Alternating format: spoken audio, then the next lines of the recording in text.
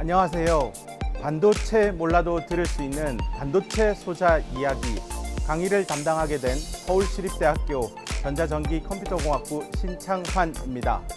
이렇게 여러분들을 만나 뵙게 되어서 대단히 반갑습니다.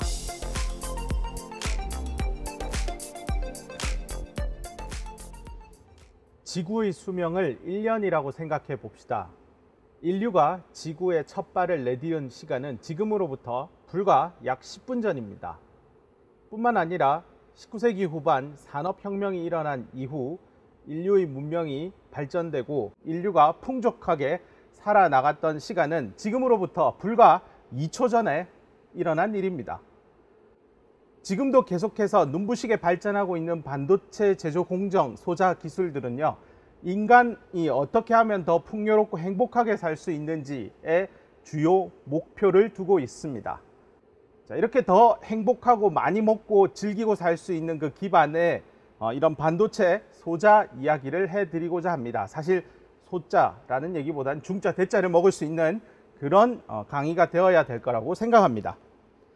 자, 50년 전에 어, 텍사스 인스트루먼트에 있었던 잭 킬비 박사님께서 몇 가지 간단한 부품 소자를 연결해서 최초로 반도체 집적 회로의 개념을 도출해 내셨습니다. 이후 어, 페어차일드 반도체 회사의 로버트 노이스 박사님께서 실리콘 재료를 이용해서 최초로 반도체 집적 회로를 또 실험적으로 보이셨습니다. 당시 그 크기가요 옆에 피자 사이즈에 맞추어서 빗대어 표현해 봤는데요 불과 그 피자 그 도우의 크기가 0.15cm에 불과합니다. 뭐 이런 피자는 아마 여러분들 뭐 100개를 드셔도 배가 부른지도 모를 겁니다. 그 이후 어, 50여 년 동안 어, 아주 작은 피자의 크기를 사람들은 더 많이 먹기 위해서 계속적으로 키워왔습니다. 현재 상용화되어 있는 반도체 생산 라인에 들어가는 웨이퍼의 크기는 약 사, 지름이 300mm에 다다르고 있습니다. 이후 더 커질 예정입니다. 자, 이렇게 커져오는 실리콘 웨이퍼 크기도 커, 지지만 동시에 그 웨이퍼 안에 들어가는 부품 소자의 크기를 더욱더 작게 만들어서요. 더 많은 부품 소자를 집적해오고 있습니다. 어, 매 2년마다 같은 면적에 들어가는 부품 소자의 총 개수는 두 배씩 늘어오고 있습니다. 어, 이를 이름하여 무어의 법칙이라고 명명하였고요. 이 무어의 법칙 덕분에 1990년대 최초로 개인 PC 시대가 열렸고요. 2000년대에는 이런 PC들이 상호 간에 연결이 되어서 인터넷을 통해서요. 어, 다양한 정보 자료들이 공유가 되어 오고 있습니다. 이후 2010년대 저희가 살아가는 이 2010년대는 내 손 위에 그런 PC들이 들어오게 되고 내 주머니 안에 컴퓨터들이 들어오는 그런 시절을 살고 있습니다. 아마 2020년, 30년이 되면 내 손 위에 있는 것이 아니라 어, 먹는 컴퓨터의 시대가 열리지 않을까라는 생각이 듭니다. 그래서 맛있는 컴퓨터, 맛있는 반도체를 먹는 그런 시절도 상상해 볼 수 있을 것으로 생각됩니다. 자, 이런 눈부신 반도체 기술 개발의 이면에는요, 어, 반도체 부품 소자를 작게 만드는 기술이 핵심이었습니다. 우리 한국 속담에도 작은 고추가 맵다라는 얘기가 있듯이요.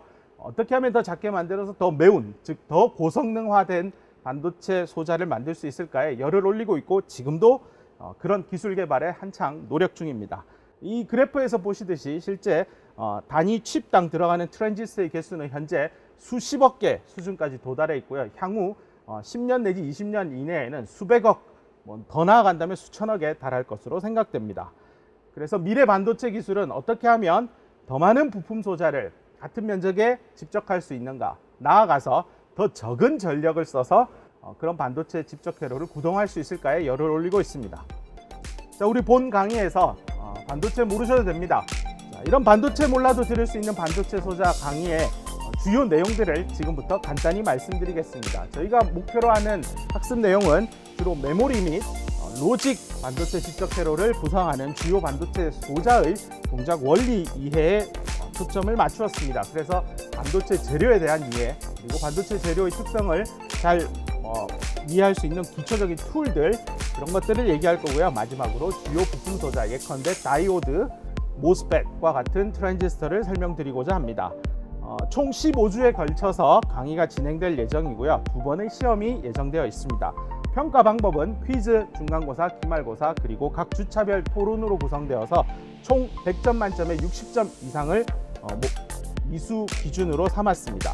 주차별 상세 내용은 주로 반도체 재료의 이해, 반도체 소자 내의 전자 홀에 대한 이야기, 중간고사 이후에는 주요 반도체 소자에 대한 얘기들로 구성해 보았습니다. 상세 내역들은 본 강좌를 수강하면서 더 자세히 만나실 수 있을 거라 생각합니다. 기타 본 강의에 대해서 더 궁금하시거나 K무크 그 자체에 대해서 궁금한 사항이 있으시면 언제든지 국가평생교육진흥원 홈페이지 혹은 K무크 홈페이지를 참고해 주시고요. K무크 사용법에 대한 링크도 여기 하단부에 첨부해 두었으니 보시고 활용하시기를 부탁드리겠습니다. 그럼 반도체 몰라도 들을 수 있는 반도체 소자 이야기 강의에서 여러분들 다시 뵙기 배웠으면 좋겠습니다. 수고하셨습니다.